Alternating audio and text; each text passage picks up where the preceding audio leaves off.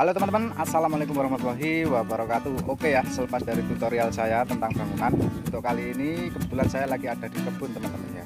Dan saya akan mencoba memperlihatkan sebuah burung ya Antara indukan yaitu dengan uh, babon dengan anaknya ya.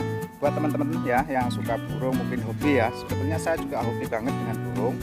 Dan saran saya buat teman-teman yang hobi burung Kalau suka cari burung Untuk teman-teman bisa ambil untuk anaknya saja ya karena di sini uh, video ini saya akan coba merekam langsung yaitu sebuah video burung terucuk ya terucukan kalau di tempat aku yaitu bagaimana dia memberikan kasih sayang baik dari cara dia ngeloni ya ataupun ngasih makan melolong anaknya di tempat liar. Oke kali ini langsung aja kita ke tempatnya langsung dan saya akan merekamnya langsung ya. Ini adalah burung terucukan di mana dia memberikan kasih sayang kepada anaknya. Oke kita lihat langsung Oke teman-teman ya, ini adalah area perkebunan di mana di sini saya juga kerja di sini ya. Ini di Malaysia teman-teman. Jadi untuk konten saya hari ini yaitu burung ya. Jadi buat teman-teman kalau pengen lihat uh, ini videonya bisa dilihat sampai selesai. Di sini banyak sekali burungnya teman-teman karena di sini jarang ya yang ada yang buru ataupun yang mikat ya. Ini tempatnya di Malaysia. Oke teman-teman langsung aja ini tempatnya.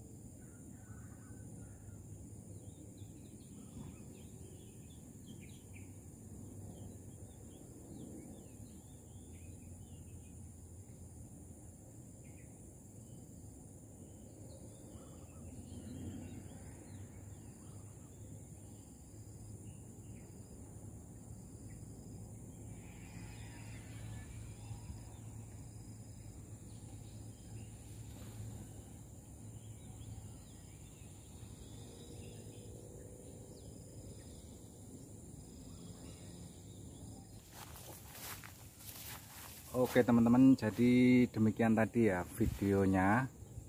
Jadi buat teman-teman kalau misal mau ngambil yaitu bisa ngambil anaknya saja ya biar tetap lestari untuk burung terucuan ini. Oke terima kasih. Sampai di sini dulu videonya. Semoga bisa untuk membuka pikiran teman-teman ya bagi pecinta burung wassalamualaikum warahmatullahi wabarakatuh